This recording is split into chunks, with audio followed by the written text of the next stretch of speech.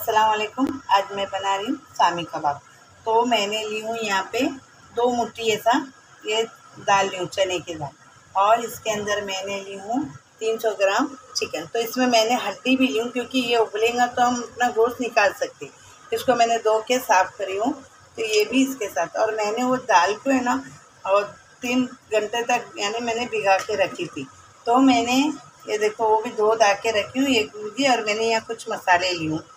ये है धनिया पाउडर एक चम्मच, नमक है अपने हिसाब से डालना एक चम्मच, और ये है काली मिर्च पाउडर, और ये है चाट मसाला, और ये है गरम मसाला, ये है एक चम्मच अपना मिर्ची पाउडर, और ये है हल्दी पाउडर। तो मैं भी ये इसी के अंदर सब डाल दूँगी। तो ये देखो ये, मैं अदरक लहसुन का पेस्ट एक चम्मच डाल रही हूँ, और मैं इसके अंदर कुछ ये डालूँगी, जैसे तीन है हरी मिर्च और एक बटाटा और एक कांदा। तो मैंने ये भी इसके साथ डाल दूँगी ये सब मिलाना है अपने को और मिला के मैं अभी आपको चढ़ गया इसमें नींबू भी आप डाल सकते लेकिन मैं नींबू अभी नहीं डालूँगी। मैं नींबू ये गलने के बाद डालूँगी। कोई कभी कभी क्या होता है, नींबू डालने से बटाटे नहीं गलेंगे। तो इसीलिए मैं ये बाद में डालती हूँ। तो मैं आपको बताती हूँ अभी ये चढ़ा के।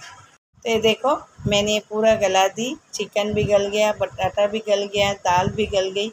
अब इसको मैं पीस के लूँगी।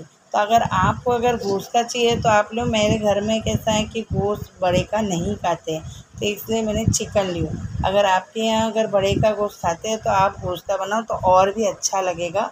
तो मैं अभी इसको पीस के बताती हूँ। तो ये देखो, इसके अंदर मैंने कांदा डाली हूँ और थोड़ी कोतमीर डाली हूँ। और ये जो नींबू है, जो मैंने उस वक़्त नहीं डाली थी तो मैं ये नींबू डालती और तो आपके यहाँ अगर नींबू नहीं हो तो आप आमचूर पाउडर भी डाल सकते हैं। तो मैं अभी इसको मिला के सब कबाब बना के आपको दिखाती हूँ। तो ये देखो, माशाल्लाह से इतने सारे कबाब बने हुए हैं। तो इसको क्या करना है आपको, हाथ में थोड़ा सा तेल लगा के और कबाब बनाना तो आता है। उसको हथेली में लेके चपटा करके इस तरह बनाना है। और अभी मैं इसको अंडे में फिट के बनाऊँगी तो बताती हूँ।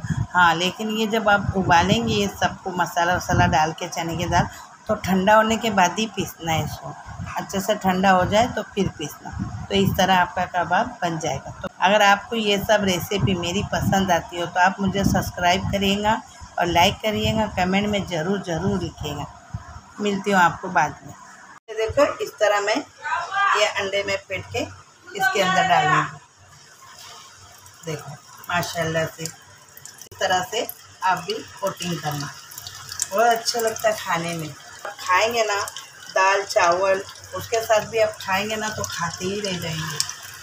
तो देखो, मैं आपको पूरा चल के बताती तो देखो, ये मैंने सामी कबाब बनाई। माशाल्लाह से बहुत अच्छा बना है। सॉफ्ट और एकदम रसीली, देखो, माशाल्लाह से। देखिए अंदर तक अच्छा पका हुआ है। आप ज़रूर ट्राई करेंगे और सब्सक्राइब करना ना भूलेगा। फिर मिलती हूँ एक अच्छी और नई रेसिपी अल्लाह हाफिज़।